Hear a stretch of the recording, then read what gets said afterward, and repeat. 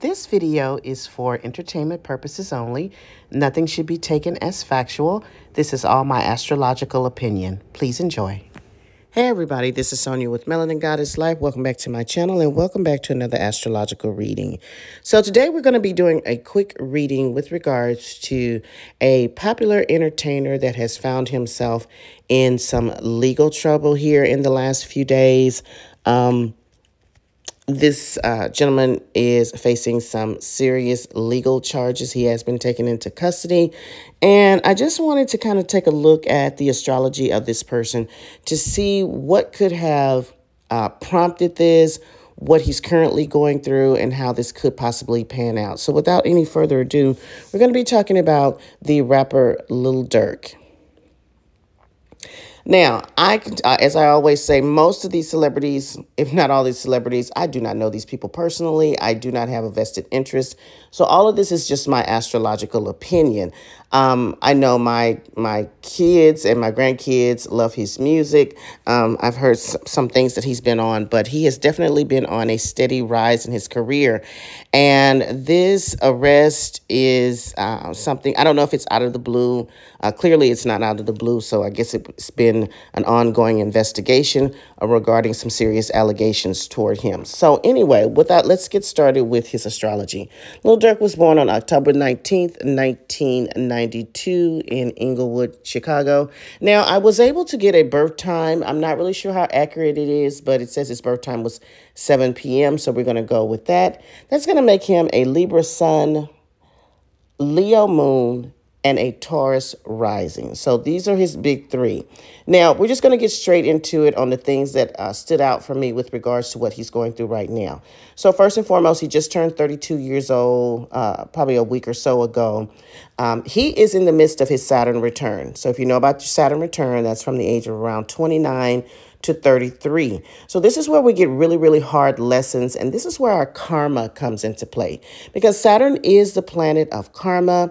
It is the planet of accountability. Um, and it is the planet of um, atoning for things that you've done and learning hard lessons. And when we go through our Saturn return, we get challenges in life. Some of the examples of what could be happening with the Saturn return is uh, people probably have relationship dynamic issues. Sometimes they get married, get divorced, they change careers, they may have some type of legal ser- serious legal issue just depending on where your Saturn is placed. But this is a time period where things get very very serious and we also go through a season of loss during this Saturn return. So this could be uh, losing someone close to you, losing your freedom, losing something that is very important to you. So currently, Lil Durk is in the midst of his Saturn return.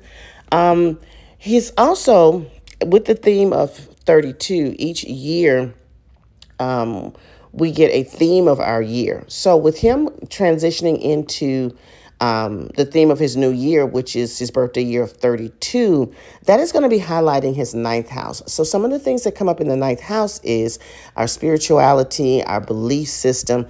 And another thing that comes up is legal issues because the ninth house governs legal issues. So we're seeing now how his Saturn return, um, along with his solar return, are partnering up with regards to legal dynamics within his life. Another thing that I was looking at is um, he's also having a nodal square. Let's just just say that this this gentleman is having a lot of karma coming his way. So he's having his nodal square. So that means his transiting uh, node is currently in this 12th house and it's squaring off into his 8th house. So with that nodal square hitting the 12th and the 8th, this really represents the 12th house represents confinement. Um, it represents specialized populations. So that could look like rehab centers, that could look like hospitals, and that could also look like jail or prison. So it's squaring off in his eighth house and the eighth house has to do with other people's money and other people's resources. So it has a lot to do with how you're relating to other people on a deep, intimate level. So that is being squared off here. I'm not really sure the details of what's going on with this case or what he's being charged with, but I'm I'm sure it has something to do with someone that was probably intimately or very close to him. So when I speak about intimacy, please don't think that this has anything to do with the opposite sex or it has to do with um, a romantic relationship, which it could, but these are the intimate connections. These are the people that are closest to us. Another thing that I noticed in his chart is um, he has Pluto so Pluto is currently retrograde, so making us look back and reflect on things.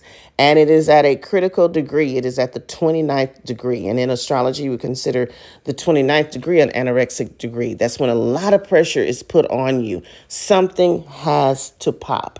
So currently, it is Pluto's in the sign of Capricorn at the 29th degree, and it is in Durk's 10th house. So if we know anything about the 10th house, this is the highest point in astrology. This is where we're most visible. And another thing that is here in the 10th house is our reputation and the law. So we're looking at something critically happening around him, which could be equated to his arrest that he's just had, um, and him his reputation, how he's seen in the public is very important at this time. So right now, just a quick synopsis. Um, uh, the astrology of this young man really points to a lot of challenges and changes around uh, his life.